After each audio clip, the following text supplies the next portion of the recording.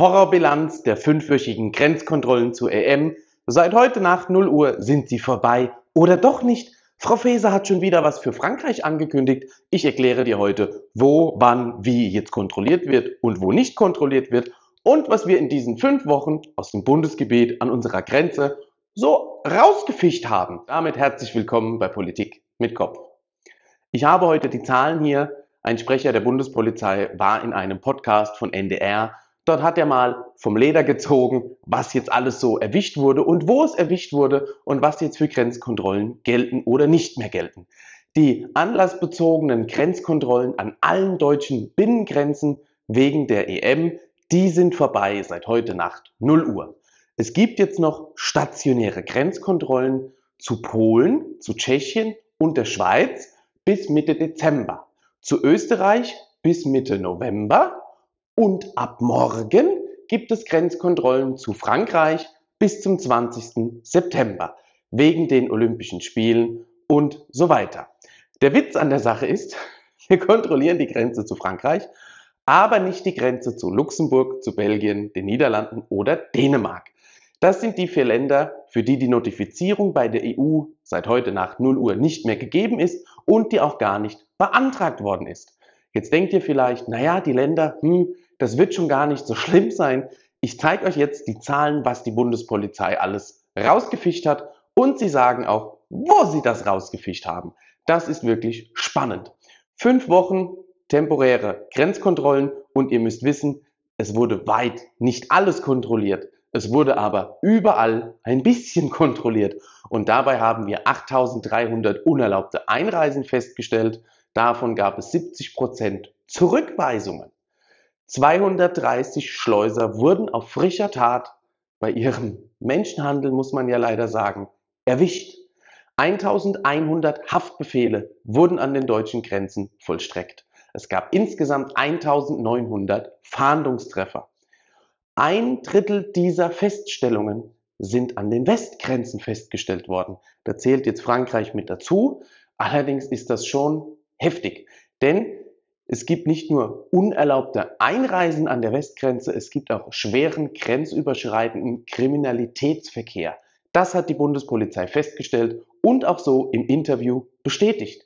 Jetzt ist die Rechtsgrundlage weggefallen zu den Benelux-Ländern und zu Dänemark und jetzt können wir dort nicht mehr kontrollieren. Es ist wirklich, es ist nicht erlaubt. Und das Schlimme ist, diese Notifizierung bei der Europäischen Kommission, das ist keine Genehmigung, sondern eine Notifizierung. Frau Faeser ruft da an und sagt, wir machen das aus dem und dem Grund und Feierabend. Die können quasi gar nicht Nein sagen. Es ist nur im Schengener Grenzkodex, dem wir unterliegen, ist es so vereinbart, dass wenn ein Mitgliedstaat diese Grenzkontrollen dann macht, dass sie zeitlich befristet sind und dass sie begründet sind und dann kann man das machen. Die Bundespolizei, sie will auch keinen Rückstau an der Grenze, weit nicht alle kontrollieren. Sie möchte aber weiterhin das Rechtsmittel behalten. Das ist ihr wichtig, dass sie es machen können. Und politisch gesehen kann man ja die Rechtsmittel behalten, die Intensität dieser Kontrollen zurückfahren, so haben sie es ausgedrückt. Und wenn die Zahlen eine andere Sprache sprechen, dass wir quasi diesen ganzen Kriminalitätstourismus nicht mehr haben, dann könnte man das jederzeit beenden, einfach so. Die Notifizierung kann rund um die Uhr 365 Tage im Jahr gekündigt werden. Ihr wisst, was unsere beste Innenministerin aller Zeiten gemacht hat. Sie hat lieber ein Presseblatt verbieten lassen. Schauen wir mal, wie das am Ende ausgeht. Aber für die Sicherheit an den Grenzen hier hört sie auch der Bundespolizei nicht zu, die um Hilfe ruft, denn sie wollen nicht nur diese Kontrollen, sie wollen auch bessere Ausstattung, mehr Haushaltsmittel, es soll nicht mehr gespart werden an der Sicherheit, sie wollen nämlich ihre Kontrollen bei weniger Personaleinsatz mit gleicher Qualität beibehalten. Dafür wollen sie technische Hilfsmittel. Bin ich mal gespannt. Ich habe noch keinen Anforderungskatalog gesehen, was man da kaufen soll. Aber ich habe die Zahlen jetzt mal aufs Jahr hochgerechnet. Wir haben fünf Wochen kontrolliert und weit nicht alles.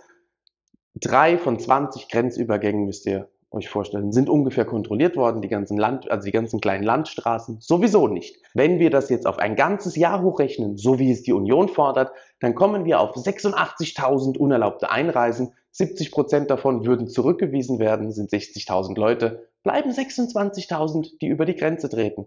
2392 Schleuser würde man an der Grenze damit Verhindern, das ist eine Menge, das sind 2400 Leute und 11.440 Haftbefehle würde man damit vollstrecken können und 19.760 Fahndungstreffer damit landen. Aber vorausgesetzt, die Zahlen von fünf Wochen würden gleichbleibend sein für ein ganzes Jahr. Wenn man, wie die Polizei sagt, eine Reduzierung der Zahlen feststellen würde, könnte man das Ganze auch irgendwann beenden. Aber wir sind das Irrenhaus in Europa und vor allem wir sind offen für Kriminalität.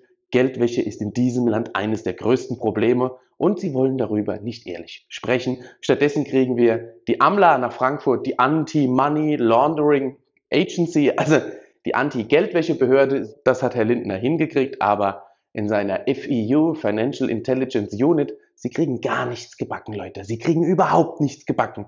Sie lassen sich ausrauben oder beziehungsweise sie verschenken Steuergeld in alle Welt. Sie verschenken es auch an Kriminelle und sie schauen nicht so genau hin, wenn man es irgendwo wieder eintreiben kann. Bestes Stichwort Cum-Ex und die Klage der ehemaligen Generalstaatsanwältin aus Köln, Frau Prohilger, verklagt jetzt das Bundesfinanzministerium. Das wird noch eine richtig lustige Story, Leute. Mache ich aber mal ein extra Video dazu. Abonniere meinen Kanal, hinterlasse einen Kommentar, drück den Daumen hoch, drück auch die Glocke, dann wirst du immer benachrichtigt. Ansonsten, ich habe noch X und Telegram, vor allem für die unzensierten Bilder. Du kannst ja mal vorbeischauen. Ansonsten sage ich ciao, bis bald.